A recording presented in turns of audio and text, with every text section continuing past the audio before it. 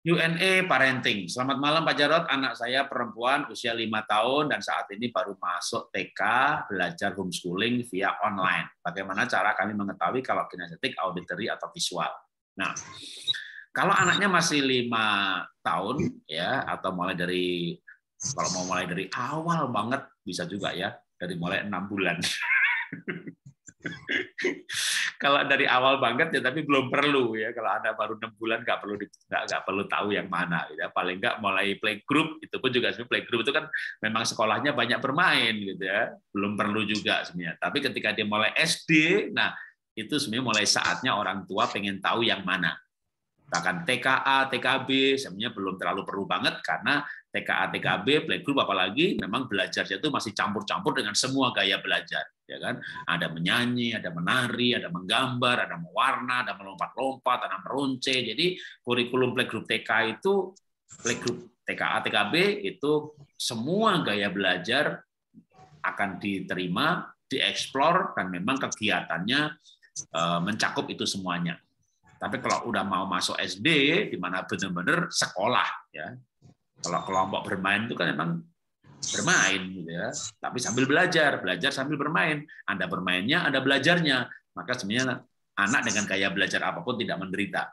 Nah mulai menderita itu ketika mulai SD di mana harus mulai banyak visualnya padahal dia kinestetik. Nah di rumah harus diberi kesempatan gaya belajar kinestetik. Nah tapi kalau saya ingin tahu pak anak saya gitu ya bisa ya. Kalau pengamatan itu TK agak susah ya karena anak TK itu nggak bisa begini. Pak Jarot, anak saya itu bakatnya menyanyi, Pak.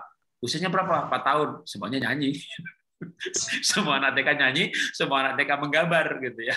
Tapi nanti kalau dia SD kelas 5 6 udah nggak gambar lagi, berarti memang dia nggak suka gambar. Tapi anak di bawah 6 tahun, otak kirinya belum banyak berkembang, belum banyak digunakan, lebih banyak otak kanan atau perasaan, intuisi, relasi, seni, art, Makanya anak playgroup TK semuanya nyanyi, semuanya gambar, menari, semuanya suka. Jadi berdasarkan pengamatan kita belum tahu yang mana. Nah, kalau SD mulai kita bisa kelas 1, kelas 2, kelas 3 gitu, kita mulai tahu sehingga harusnya kelas 2, kelas 3 orang tua sudah mengerti kalau pakai pengamatan. Kalau pakai pengujian, kalau pakai pengujian jangankan SD. 6 bulan udah bisa, tapi metodenya adalah sidik jari. Seperti tadi saya eh, kasih contoh punya saya ya atau kalau saya ulangin lagi eh, ini adalah gaya belajar diri saya. Gaya belajar ini eh, gaya belajar yang memang bawaan sejak lahir ya. Yang di yang dilaporkan oleh sidik jari itu bawaan sejak lahir. Baik itu cara belajar atau kecerdasan atau kemampuan itu kemampuan bawaan sejak lahir. Karena dari lahir sampai mati kan orang sidik jarinya nggak berubah.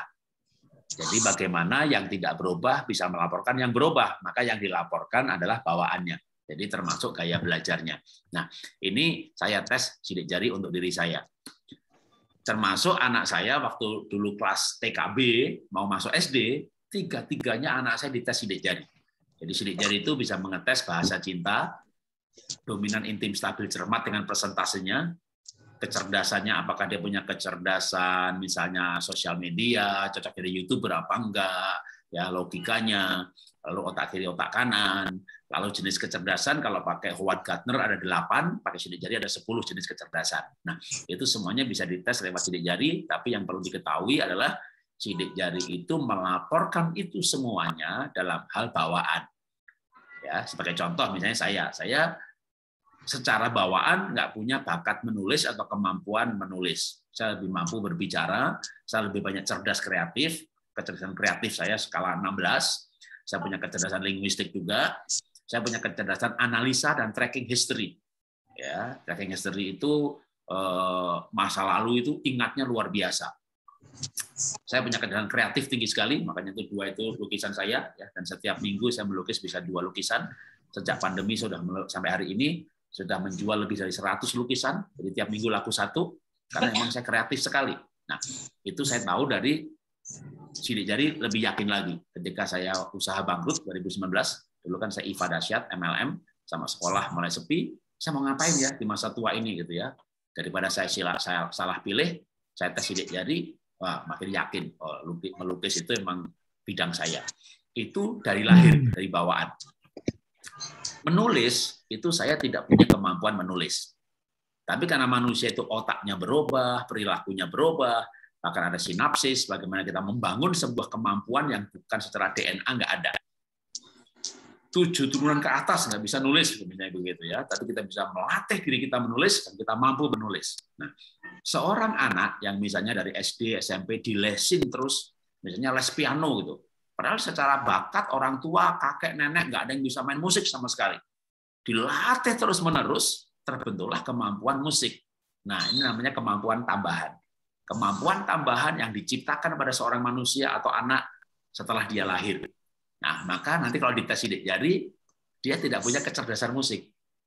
Tapi de facto bisa. Kenapa? Karena dilatih. Jadi memang manusia itu bisa berubah, kemampuannya berubah, termasuk kalau minggu lalu kita udah bahas ya, temperamen dasar itu juga berubah. Maka tes hari ini hanya untuk mengkondisikan hari ini. Nah, kalau sidik jari justru hari ini, tapi itu melaporkan apa yang dibawa sejak lahir. Nah, itu termasuk bisa untuk meng, eh, tes sidik jari untuk mengetahui gaya belajar anak itu apa ya tes sidik jari ya kalau mau pakai uh, tes di anak kalau saya dulu anak saya sebelum masuk SD karena kita tahu nanti SD bakal banyak belajar bukan bermain maka anak saya tiga-tiganya dites dan tahun tahun 98 anak pertama saya itu tes sidik jari itu masih pro dan kontra itu.